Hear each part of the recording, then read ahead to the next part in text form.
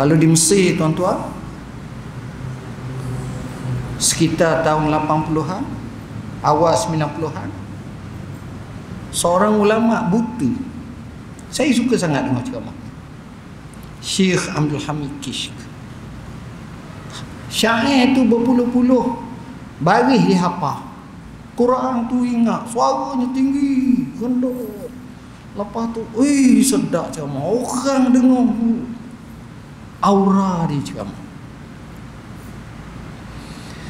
dan tak mestinya orang buat ceramah ni orang suka. Kadang-kadang biasa je. Macam saya duduk di Syria. Guru kami Syahid Said Ramadan Al-Buti. Dia mati. Dia syarah. Kalau dengar cara dia ceramah tu slow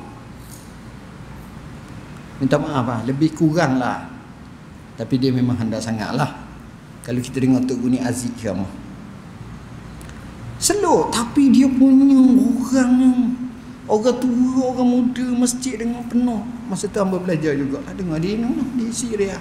Masya Allah. Dia cerita tu terki satu satu. Seronok. Kalau harap kok memang suka sangat dia. Ada ulama yang lebih alim.